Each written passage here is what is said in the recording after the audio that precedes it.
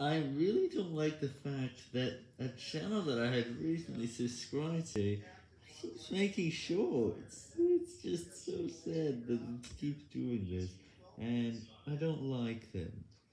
Please, and also at one point his latest short had only made two views, which is just, what? And it took two minutes?